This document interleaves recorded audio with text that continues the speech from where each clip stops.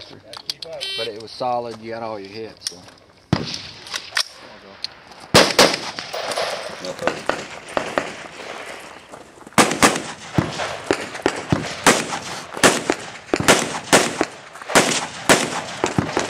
I'll tell you what's scary to me. On that on the down the hill when you're looking through your damn magnification, you see your gun laying right under where your target is. Like, oh, yeah.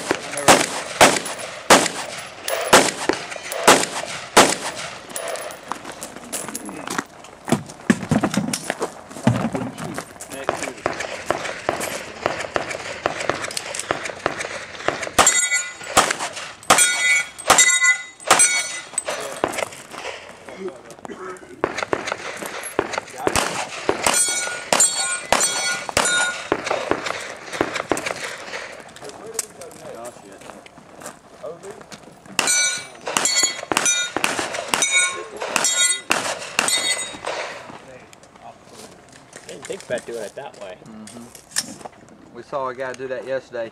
He shot all those from up here by the blue barrel. Well, that's pretty hard.